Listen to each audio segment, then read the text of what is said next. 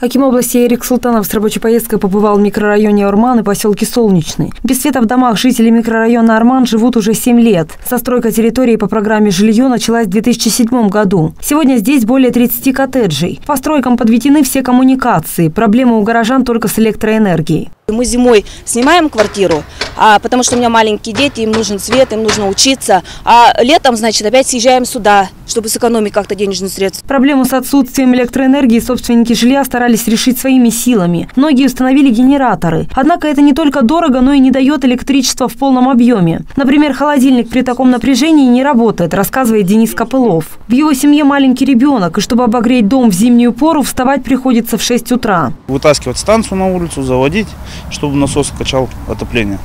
Потому что без насоса отопление не протягивает никак. В ходе рабочей поездки Аким области Ерик Султанов ознакомился с проблемой. Глава региона обещал в ближайшее время оказать содействие в решении вопроса. Значит так, значит, мы э, за 2-3 дня подаем сюда, ходим наши испытанные сети, даже понедельник подадим сюда.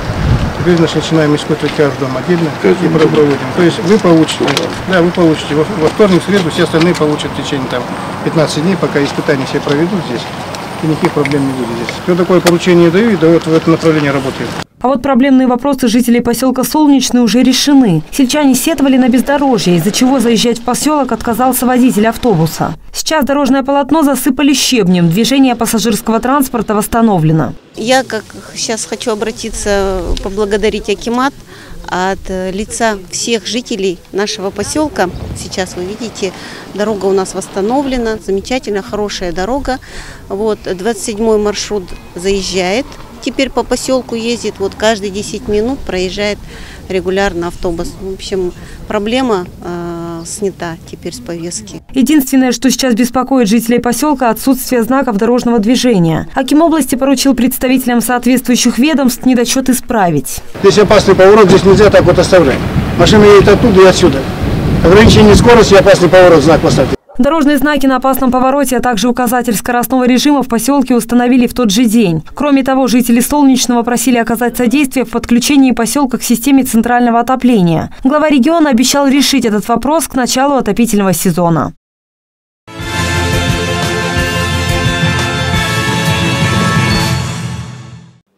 Ямочный-ремонт по новой технологии. Ремонт пневмонабрызгом, ноу-хау в современной практике реконструкции дорожного полотна. Ранее дорогу латали заплаточным методом, убирая поврежденную часть покрытия. Это было долго и часто неэффективно. Из-за погодных условий асфальт переходил в негодность спустя год. Новая технология решает одновременно множество проблем. Помимо гарантии службы в три года, этот метод экологически более безопасный, а стоимость на 30% дешевле. Машина выполняет э, несколько функций. Значит, это первое э, сдувает ямы.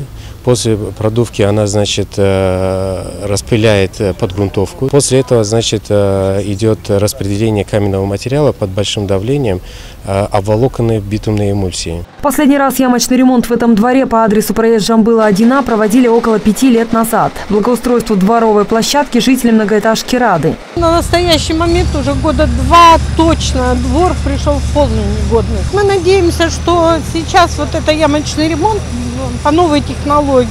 И поэтому прослушать намного больше. Специальное оборудование приобрели в США, а состав для проведения ремонтных работ создан специально немецкими учеными с учетом климатических особенностей нашего региона. Кстати, такой ремонт занимает намного меньше времени. Уже спустя 30 секунд эмульсия и каменный материал схватываются. А это установка патчи, тоже американского производства. В этом смесителе специальный состав, который смешивают с каменным материалом. После полученной смесью заливают ямы. С преимуществами новых технологий ознакомился Аким области Ерик Султанов. Глава региона дал положительную оценку работе специалистов. Сегодня проходит обучение э, персонала. Персонал местный, безусловно, только начал вот сегодня первый день работы. И мы намерены сейчас э, провести ямочный ремонт во дворах э, города Петропавловска.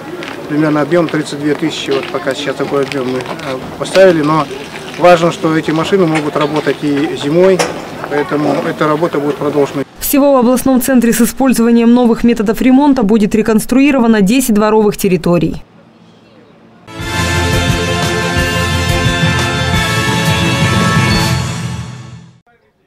Петропавловске будет оборудовано 15 спортивных площадок. Работы по строительству объектов ведутся по поручению главы региона Ерика Султанова. Площадь этого будущего футбольного поля 800 квадратных метров. Специально оборудованную площадку на территории неполной средней школы номер 31 в микрорайоне Рабочий поселок ждали давно. В школе обучается 350 учащихся. В микрорайоне нашей школы находится 800 учащихся.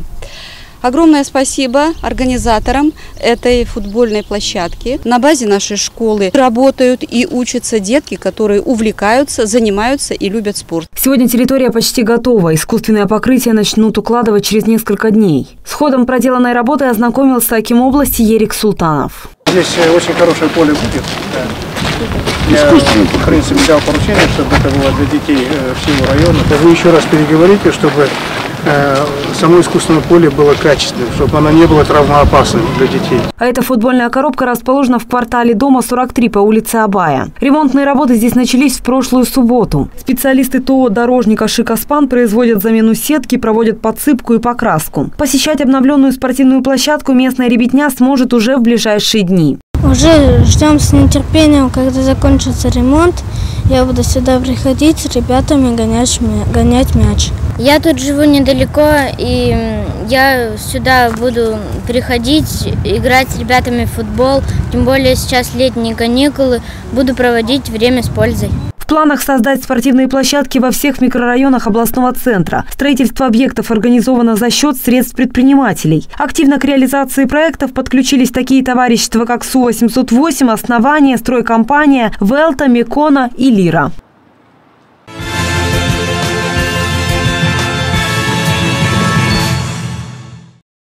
Северном Казахстане подписан меморандум о взаимопонимании. Инициатором заключения договора с представителями Казахстанского центра государственно-частного партнерства выступил областной акимат. Глава региона Ерик Султанов поблагодарил гостей за приезд, подчеркнул актуальность встречи. Мы сегодня проводим первую встречу по продвижению идеи президента по государственно-частному партнерству на пленарном заседании инвесторов.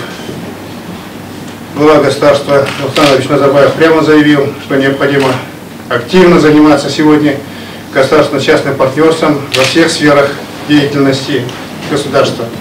Поэтому я благодарен и уверен, что ваш приезд даст нам большой стимул для начала совместной работы.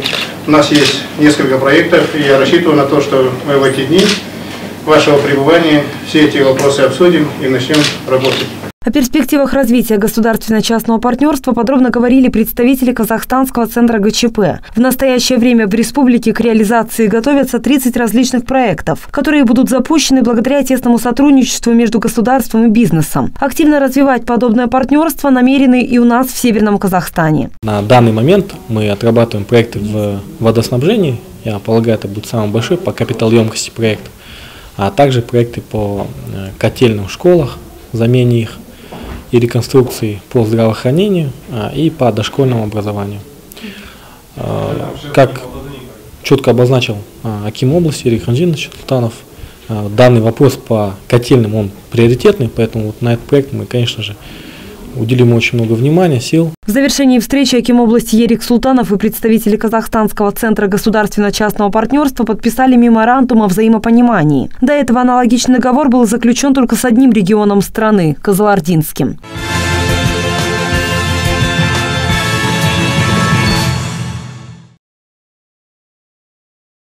Глава региона Ерик Султанов побывал с рабочей поездкой в Жамбылском районе. Материал подготовлен корреспондентами телеканала «Казахстан Петропавл». Одним из ведущих хозяйств в районе является ТО «Шатила ИК». Аким области ознакомился с работой спортивного комплекса, ремонт которого осуществляла компания. Бассейн, фитнес-зал, тренажеры и спортивная площадка. Для ведения здорового образа жизни в селе Казанка есть все необходимое. Животноводческая база агрария Виталия Шатила насчитывает более 800 голов крупнорогатого скота. Занимаются на предприятии разведением сельскохозяйственных угодий. Местном сельском доме культуры действуют художественные коллективы. А в селе Пресновка Аким области посетил ТО «Агротехника Жамбыл». Наличие техники позволяет без проблем возделывать сельскохозяйственные культуры на площади около 20 тысяч гектаров. Однако этих угодий хватило бы и на разведение КРС, резюмировал Ерик Султанов. Отличные земли, отличные пастбища, люди не заняты. Растениеводство, это, конечно, выгодно. Три месяца в году поработали, а остальное время люди не заняты. Поэтому на эти земли требуется не меньше 3-4 тысяч голов Вот сейчас программа «Стройте на тысячу голов». 513 кубометров в сутки поставку такого объема воды осуществляет предприятие «Жамбыл-Су». Здесь имеется насосная станция, резервуар чистой воды и водопроводные сети, по которым подают воду в районный центр. Побывал Ерик Султанов и в районном доме культуры, где встретился с представителями этнокультурных центров района. Глава региона подчеркнул важность и необходимость работы объединений в формировании межнационального согласия. На встрече с населением Аким области Ерик Султанов подробно остановился на основных проблемах жамбылцев. К их числу относятся дороги и водоснабжение. Все острые моменты известны и уже приняты меры. Ну что такое грунтовая дорога, мы все знаем, да? Или гравийная дорога. Даже посыпая ее гравием, мы в конце лета получаем все равно разрушенную дорогу. Каждая грунтовая дорога. Поэтому мы э, нашли американский стабилизатор, который сегодня делается в Караганде уже. Я рассчитываю, что такая дорога по меньшей мере 5 лет будет стоять вообще без э, значит, разрушений. Своими проблемами и просьбами с главой региона поделились местные жители. Необходим ремонт социальных объектов. Есть перебои в работе общественного транспорта. Интересовались сельчане и предстоящим празднованием 70-летия Великой Победы. В 1975 году был установлен обелиск. Там было вписаны те фамилии, которые, значит, не вернулись. 400 человек всего. Сегодня требуется реконструкция.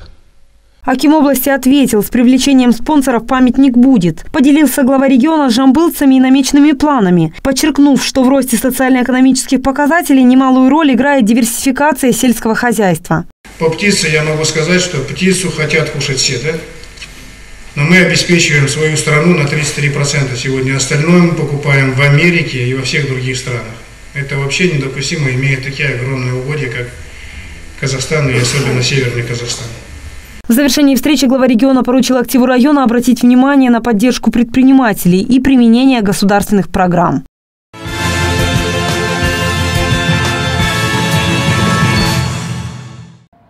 В этот же день Аким области Ерик Султанов побывал в Мамлютском районе. ТО «Производственно-промышленная корпорация ХАЭМ» занимается производством круп, изготовлением корпусной мебели и пластиковых окон. Предприятие успешно реализует свою продукцию не только на территории Североказахстанской области, но и в соседней России. С технологией и объемами производства компании ознакомили главу региона Ерика Султанова. А этот цех предприятия «Промстроймебель». Компания занимается производством разных видов корпусной мебели. В месяц здесь выпускают порядка 700 единиц продукции.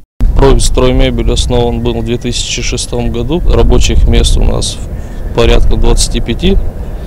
Работаем ну, в две смены. Вот недавно состоялась выставка международная в Алмате. Заняли второе место. Следующий объект в программе рабочей поездки – новая школа на 300 мест. Строительство учебного заведения начали в мае 2013 года. В настоящее время выполнено только 40% всех работ. Сейчас производится кирпичная кладка э, второго, третьего блока. Весенний период, почему задержка произошла, что заболоченное место э, нельзя было производить строительно-монтажные работы. Аким области Ерик Султанов поручил активизировать работу на объекте. 1 сентября нереально, это мы все понимаем, да, остался месяц, 40 дней. Поэтому я ставлю уже такую задачу, которую надо выполнить 1 декабря или 15 декабря. С тем, чтобы в третьей четверти уже значит, сюда начать обучение. В ходе поездки глава региона посетил еще одну строительную площадку. В рамках программы «Дорожная карта занятости-2020» в Мамлютке построили семь одноквартирных жилых домов. Работы на четырех объектах уже завершены. В трех домах ведется чистовая отделка и благоустройство близлежащей территории. А здесь производят строительные материалы из сосны. Акима области ознакомились с проектом ТОА «Каин». В планах открыть цех по переработке дерева. В завершении рабочей поездки глава региона встретился с местным активом. С докладом о социально-экономическом развитии за первое полугодие выступила Аким Мамлютского района Ербулат Бекшенов. Несмотря на имеющиеся положительные тенденции в развитии, недочетов тоже хватает, отметил Аким области Ерик Султанов. Так, например, уже много лет не работает Мамлютский машиностроительный завод. Ранее здесь производили ремонт сельскохозяйственной техники и автомобилей. Жалко, конечно, что такой прекрасный завод он простаивает. Но сейчас мы уже договорились, что в течение месяца примем по нему решение. Особое внимание необходимо уделить развитию малого и среднего бизнеса на селе. Предложения и пожелания от предпринимателей Мамлютского района Аким области Ерик Султанов выслушал лично после завершения совещания.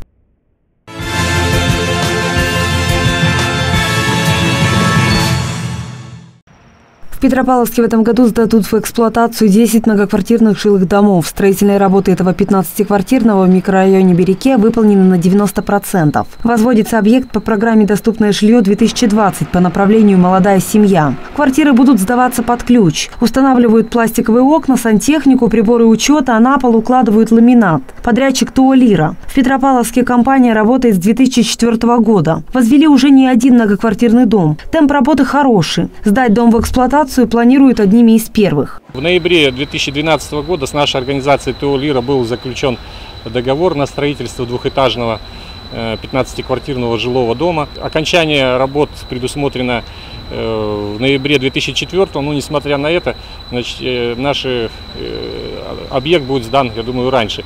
Он будет сдан к концу месяца. На строительной площадке трудятся более 27 человек. Работают и бойцы студенческих стройотрядов. Красят стены. Алена Матросова – студентка третьего курса профессионального лицея номер один. Для нее, как для будущего мастера штукатура, здесь есть не только возможность подзаработать во время каникул, но и набраться опыта.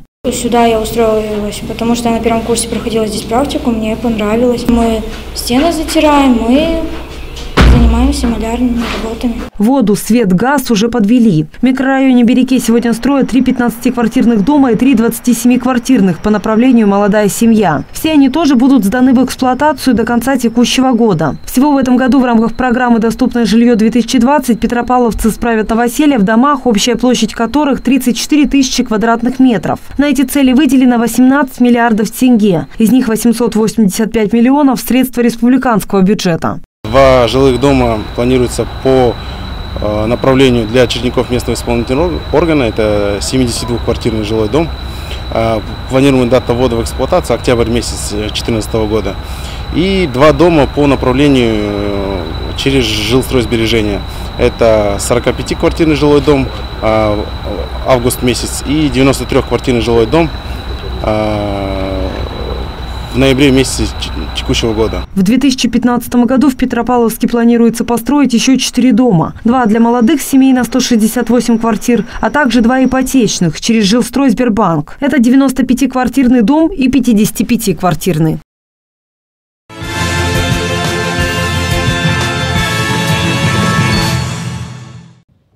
Девять сел Козылжарского района будут обеспечены питьевой водой. Сегодня на этом огражденном участке кипит работа. Скоро здесь появится пункт охраны, насосная станция и два накопительных резервуара вместительностью 100 кубометров. Этого будет вполне достаточно, чтобы обеспечить водой все село с населением в 397 человек. На объекте трудится порядка 20 рабочих из строительной компании «Альфа-Север». В их распоряжении 5 единиц техники. В начале июня 3 числа начались работы по объекту село Приишимка.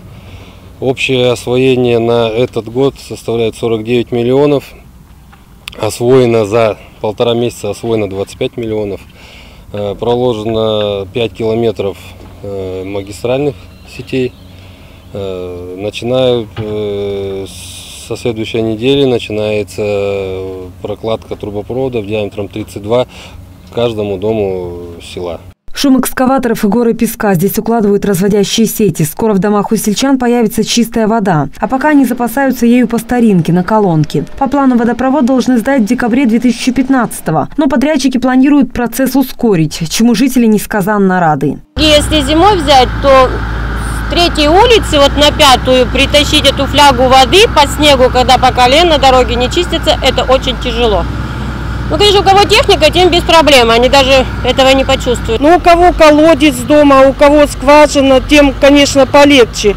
А у кого у стариков нету ничего, конечно, очень тяжело. Уже сколько лет ждали. Проводят воду и в другие села Козлжарского района. К работам также приступили в начале июня. Отвечают за них две подрядные организации – ТО «Альфа-Север» и ТО «СК Максимум». На все 9 сел у нас в этом году выделено 715 миллионов, из них 643,9 Э, из республиканского бюджета и 71,5 из областного бюджета.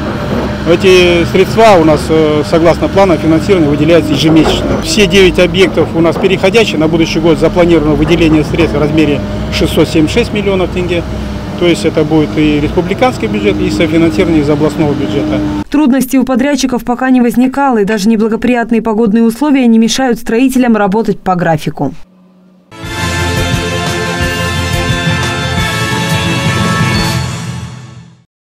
Казахстане стартовал прием заявок на участие в проекте «Алтын Сапа». Конкурс на соискание премии президента страны проводится с 2009 года. На сегодняшний день желание побороться за звание лучшего производителя изъявили 15 североказахстанских предприятий, в том числе и ТО «Фрегат».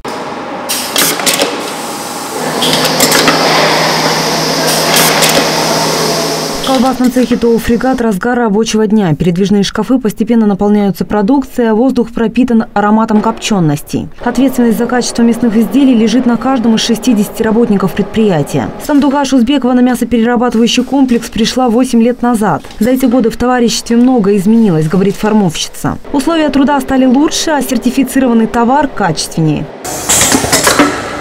Работаю с хорошим настроением как бы делаем для людей продукцию. Предприятие у нас развивается как бы каждый год. Стимул к работе есть. Новое оборудование у нас. И как бы на все современное.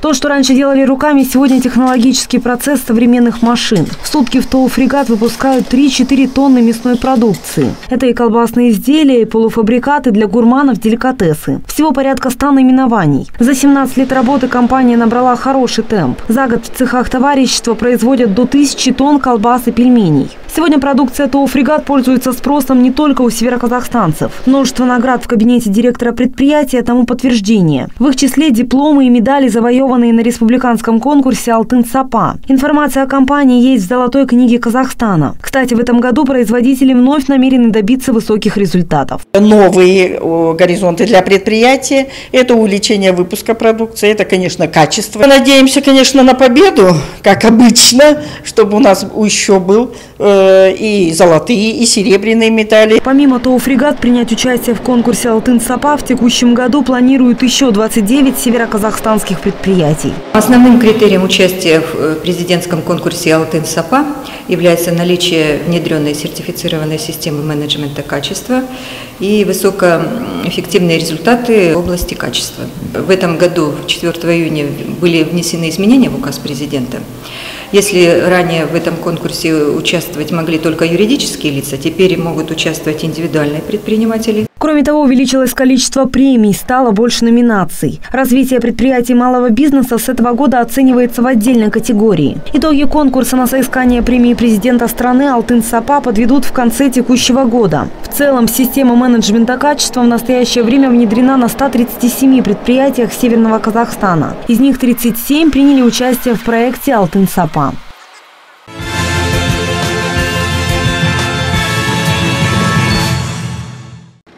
Евразийский экономический союз откроет новые перспективы для развития бизнеса, считают в индивидуальном предприятии «Шаров». Рабочий день здесь начинается в полвосьмого утра. Времени на отдых у фаршесоставителя Виталия Коробчан практически нет. Его труд, можно сказать, основа процесса изготовления колбас. Важна любая деталь. Кутер объемом с вместимостью 100 килограмм имеет 4 скорости ножей и 4 скорости чаши. Нужна всегда внимательность. Производство колбасы производится по рецептурам, созданными технологами, и всегда нужно соблюдать эту рецептуру. Если она не будет соблюдена, то э, изделие будет испорчено. Колбасы ВП «Шаров» производят на протяжении 15 лет. Когда предприятие только становилось на ноги, здесь выпускали всего 10 наименований продукции. Сегодня спрос на товар вырос, увеличился и объем производства. Теперь изготавливают свыше 50 видов изделий.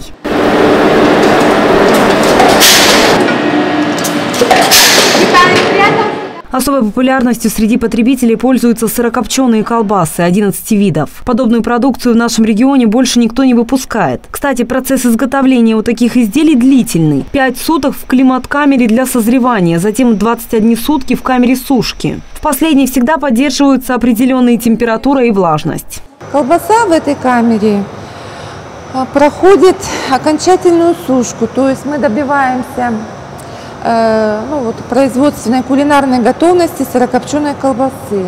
Вся она здесь находится по видам висит и по датам. Стараемся держать конкуренцию, стараемся держать цены, то есть мы стараемся их не поднимать, чтобы наша продукция была доступна как можно широкому кругу населения. Сырье для производства в индивидуальном предприятии «Шаров» закупают местное. В Сергеевке и Корнеевке у предприятия имеются две заготовительные базы. В сутки в цехах производят 2,5 тонны колбасных изделий. Товар в основном развозят по торговым точкам Петропавловска. Отправляют в Алматы, Караганду и Кибастуз. А с вступлением Казахстана в Евразийский экономический союз здесь намерены значительно расширить географию сотрудничества. В планах выход на рынки Российской Федерации. Вступление нашей республики в Евразийский экономический союз, конечно же, позволит э, повысить конкурентоспособность выпускаемой продукции на нашем предприятии, вот, повысит экономику, естественно, нашего предприятия и всей нашей страны в целом, но также позволит расширить ассортимент выпускаемой продукции. Заключаем в настоящее время контракты на поставку, в частности, это Екатерин, город Екатеринбург, э, город Новосибирск, вот в дальнейшем планируем также освоить Тюменский регион. Кстати, индивидуальное предприятие «Шаров» Виктор Николаевич – активный участник различных выставок, номинант фестивалей и конкурсов, в том числе и республиканского значения.